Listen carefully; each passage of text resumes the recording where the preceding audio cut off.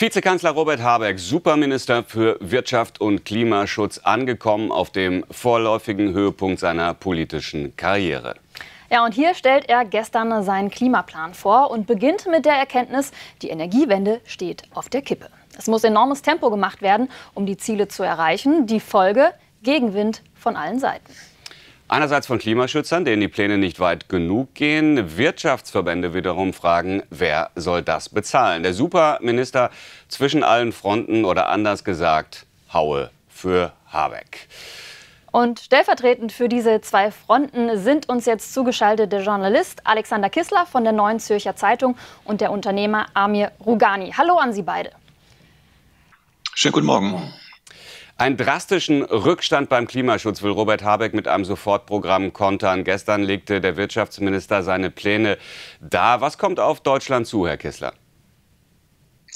Naja, er spricht ja selbst von einer großen, gigantischen Transformation, die in alle gesellschaftlichen Bereiche eingreifen werde. Und das ist auch so. Also da werden eigentlich keine Gefangenen mehr gemacht. Es sollen 100.000 neue E-Ladestationen pro Jahr hinzukommen, pro Jahr. Auf jedes neue Dach von Firmen soll eine Voltaikanlage kommen, bei privaten äh, nicht zwingend, aber doch die, die Regel sein. Und es wird vor allen Dingen etwas stattfinden, was man heute eigentlich nur als ambitioniert oder sogar tollkühn bezeichnen soll soll. Bis 2030 soll der Anteil der regenerierbaren Energien, der energiebaren Energieträger auf 80 Prozent ansteigen. Ich habe mal nachgeguckt, gestern Abend waren es 25 Prozent. Gestern Abend kamen also in Deutschland 25 Prozent unseres Energiebedarfs aus regenerierbaren Quellen. Im Schnitt waren es im letzten Jahr gut 40 Prozent. Und das soll sich nun verdoppeln oder vervierfachen innerhalb von weniger als einem Jahrzehnt. Das ist eine wirklich hoch, hoch riskante Wette. Und es kann sein, dass Gesellschaft wie Wirtschaft einen sehr hohen Preis zahlen werden. Herr Rogani, Sie sind nicht nur Unternehmer, sondern auch Wirtschaftsingenieur in der Fachrichtung Umweltmanagement. Welche Note würden Sie Habecks Sofortprogramm geben? Also ich würde die Note für den Habeck im Kontext der bisherigen Minister darstellen, damit auch eine Referenz für die Zuschauerinnen da ist.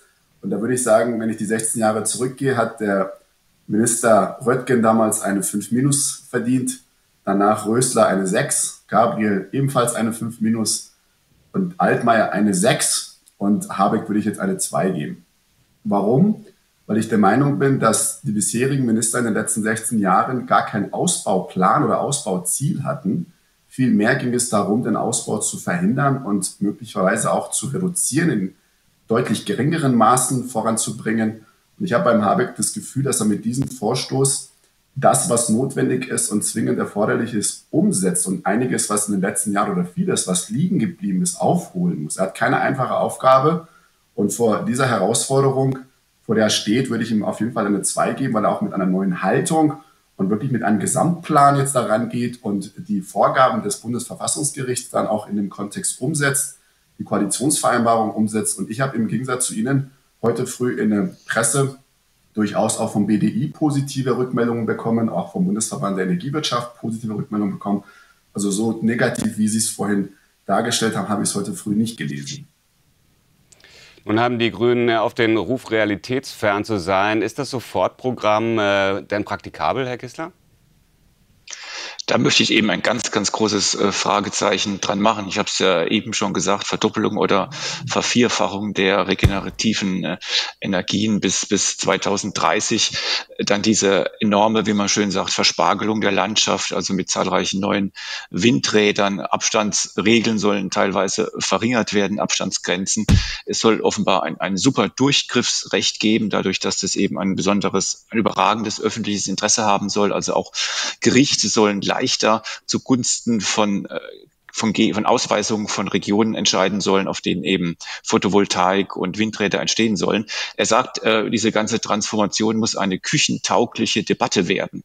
Das heißt allerdings auch ein, ein, ein Streit über die Kosten dieser Klimapolitik soll und wird nun auch an den Küchentisch einziehen. Und wir haben jetzt schon eine, eine sehr erhitzte Gesellschaft und sollte sich herausstellen, dass es eben nicht so läuft, wie sich Habeck das vorstellt, dann werden wir auf diesem Feld also neue große gesellschaftliche Konflikte erleben.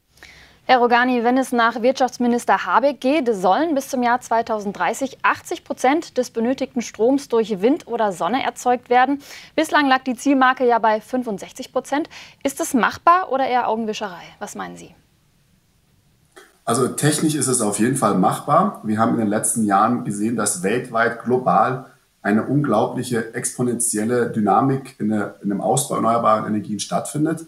Und das ist keine Frage der Grünen mehr. Also ich würde davor warnen, immer wieder das Thema den Grünen in die Schuhe zu schieben. Wir sind im globalen Wettbewerb und die Länder wie China, USA, Japan, Indien, all diese Länder bauen massiv erneuerbare Energien aus und holen sich dadurch einen Wettbewerbsvorteil dahingehend, dass sie nicht auf die Rohstoffe aus Russland oder aus den arabischen Staaten angewiesen sind. Und diesen Vorteil erarbeiten wir uns dadurch auch.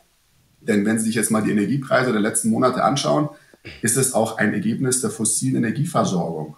Und ähm, Sonne und Wind kriegen wir kostenlos geliefert. Wir müssen nur die Investition der Anlagen zahlen. Für die Brennstoffe zahlen wir nichts mehr. Also es wird Deutschland langfristig auf jeden Fall den Wohlstand sichern, viele Arbeitsplätze schaffen. Und für die Haushalte gibt es auch eine gute Nachricht. Ab kommendem Jahr wird es im Durchschnitt etwa 300 Euro Entlastung geben, dadurch, dass das EEG künftig über den Steuerhaushalt und nicht mehr über die Umlage der Verbraucher abgerechnet wird.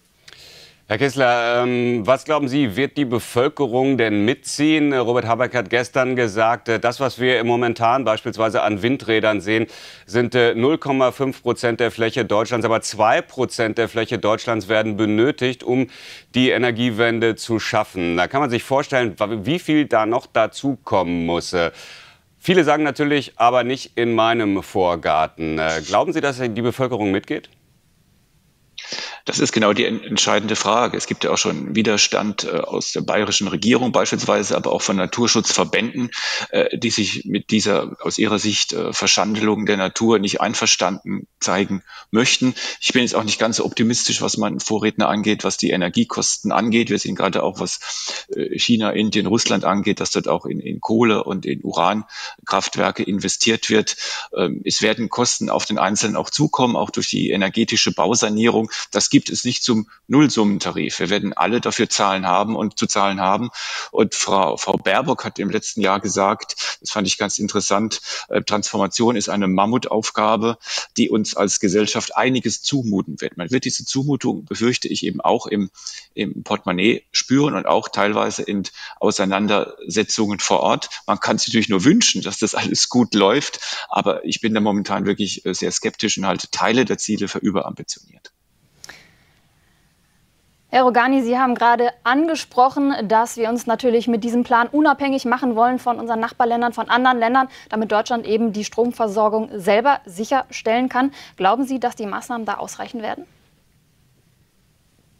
Wir sind auf jeden Fall auf dem richtigen Wege. Und die Frage ist immer, was ist die Alternative? Sollen wir das bestehende System beibehalten und unsere Klimaschutzziele ähm, nicht erreichen? Das ist ja keine Alternative. Also ich erwarte von jedem, der das kritisiert, dass er auch ein Alternativkonzept auf den Tisch legt. Und so ein wie bisher weiterzumachen, wäre ein irrsinniger Weg, das wäre die Sackgasse. Denn wie gesagt, also klar ist, dass auch die anderen Länder mit Atomkraft und Kohlekraftwerke weiterhin ihre Energieversorgung auch ausbauen. Aber der Anteil der erneuerbaren Energien ist deutlich größer als die anderen Energieträger. Und die Energiegestehungskosten über Solar und Wind sind inzwischen die günstigsten Energiequellen, auch in Deutschland unter diesen klimatischen Bedingungen, die wir hier haben. Also ich würde jedem empfehlen, auch meinem Vorredner, sich die Kosten und die Zahlen genauer anzuschauen. Es ist nicht in Ordnung, die erneuerbaren Energien als teuer darzustellen. Es ist eine Transformationsaufgabe. 75 Prozent der Bevölkerung wünscht sich die Energiewende. Und dann müssen wir auch handeln und müssen auch unsere Wirtschaft für die Zukunft sichern, indem wir uns, was die Energieversorgung, was aber auch die Produkterneuerung, die Produkttransformation angeht, auf klimaneutrale, klimafreundliche Produkte uns hinentwickeln. Ansonsten werden wir als Exportnation in den nächsten Jahren unsere Produkte auf den globalen Märkten nicht mehr verkaufen können. Die will keiner mehr haben, weil Alternativprodukte aus USA, aus China, aus anderen Ländern in der Lage sind, uns dort zu überholen, was schon zum Teil in einigen Branchen auch passiert. Herr Rogani, Herr Kissler, vielen Dank für diesen kleinen Schlagabtausch und äh, die Prügel, die Herr Habeck dabei einstecken musste von Seiten von Herrn Kissler, waren natürlich nur comichaft gemeint. Ganz herzlichen Dank für das Gespräch und jetzt rechnen wir es doch mal durch. Nena Schenk ist bei uns unsere Kollegin. Was kosten die Pläne?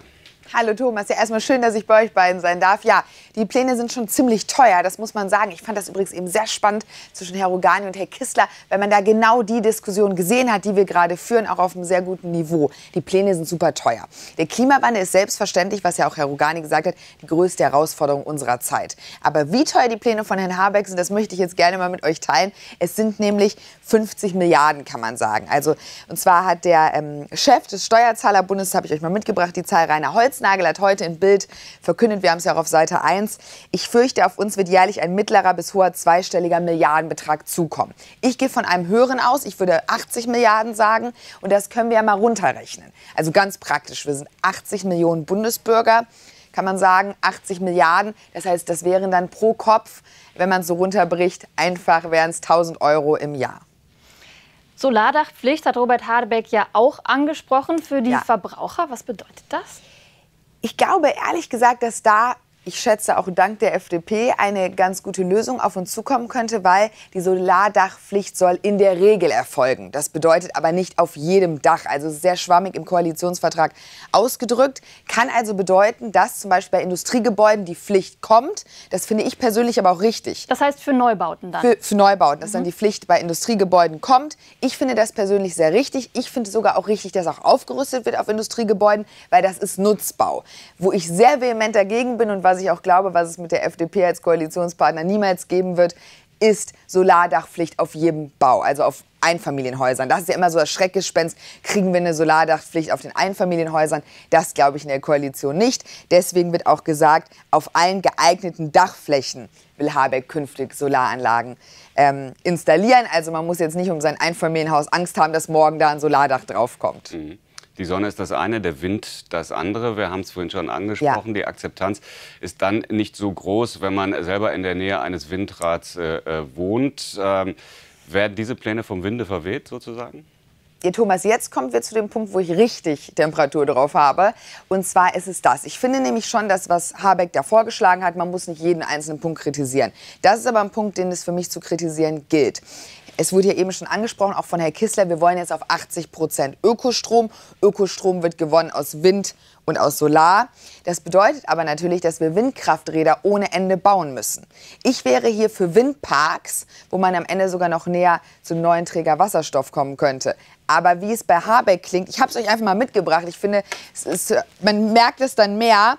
Ähm, für den exzessiven Windkraftaufbau will Habeck die bestehenden Abstandsregelungen zwischen Wohnbebauung und Windrädern verringern oder gar abschaffen. In Habecks Worten gehe es etwa bei Windkraftprojekten um Beeinträchtigung der Anwohner durch Emissionen, Sichtbeschränkung oder Geräuschen, würden diese Schutzgüter künftig nachrangig behandelt werden. Dann kann auch zügiger genehmigt werden. Wenn ich das jetzt mal plakativ ausdrücken darf, das ist eine Teilenteignung des Bürgers, weil er eigentlich völlig irrelevant ist, wie nah das Windkraftgrad gebaut wird. Und deswegen muss ich sagen, muss da wirklich die Grünen und auch Herr Habeck müssen da mal wieder ein bisschen realitätsnaher werden. Man kann nicht einfach jedem Bürger vor sein Haus und Windkraft bauen. Vor allem, weil auch da die Frage ist, wie gut funktioniert das auch? Also deswegen möchte ich plädieren, weil da hat Herr Rogani recht, immer nur kritisieren ist schwach. Man muss ja auch sagen, wie wir den Klimawandel schaffen, den gilt es zu schaffen.